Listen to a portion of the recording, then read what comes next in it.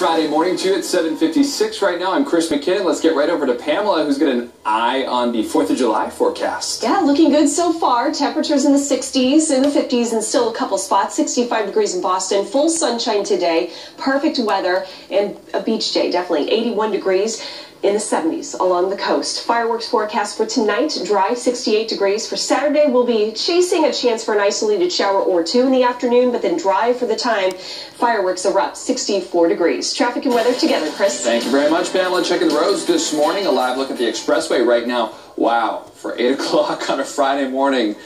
Doesn't look like a lot of people are out there this morning. Let's take a look at the maps now. Some slow goes for folks uh, heading down towards the Cape. Stock and go along Route 25 uh, to the Bourne Bridge down in that area. Get it early start if you can.